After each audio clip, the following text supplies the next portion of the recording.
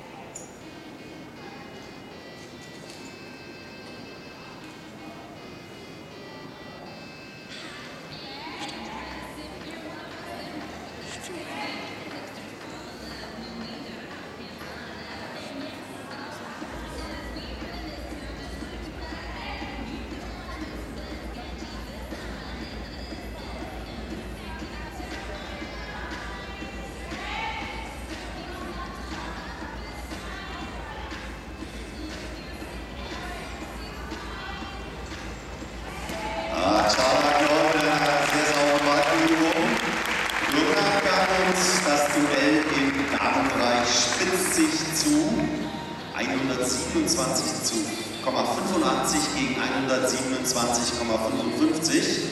Vor dem letzten Duell zwischen Chada Jol und Ida Gustafsson haben wir einen Punktabstand von nur drei Zehntel. Also auch bei den Damen wird es jetzt spannend.